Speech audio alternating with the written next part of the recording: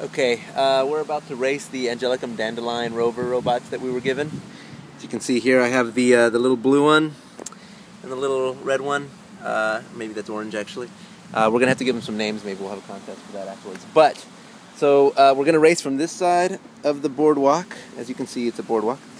Uh, from this side across the concrete to that side. First rover over there is the winner. I'm gonna record it, and the way it works is right now they're in our shadow, so that they're not receiving any solar power. Uh, as soon as we step out of the way, which you know is part of the skill of the driver, uh, we'll determine who the winning robot is. So, uh, you ready, Amanda? Uh, yeah, definitely. Well, I'm definitely ready too. Okay, on your mark, get see it, go. Come on, little blue guy. I think I started behind you. Uh, you know what? No. Oh, she's lost a wheel. That's a serious. going. Well, you know that it can win a is, NASCAR race. going off to the Mine decided to just go rove. It's doing what a true rover should do and explore. Uh, I think I have to even out the wheels because it's Pit good at making rights. Yours is done. Pit stop. Pit stop. Oh, quick!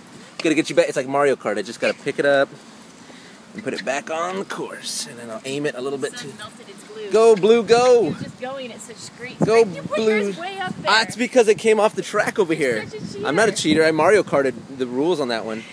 Oh, look at that! No, don't crush it, Godzilla. Oh, yes, is a solar, solar distraction race. Yeah, you just look at this. This is all I got to do. That's all I got to do. All right, let's see her across the finish line, slow and steady.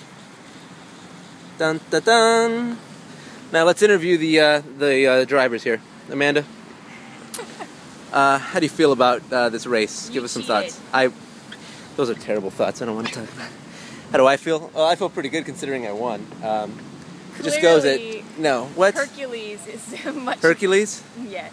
Well, uh, the blue bullet over here is, is the true champion. I mean, let's be honest. It's got headlights. Can I see those headlights? Oh, we're gonna do arm wrestling now.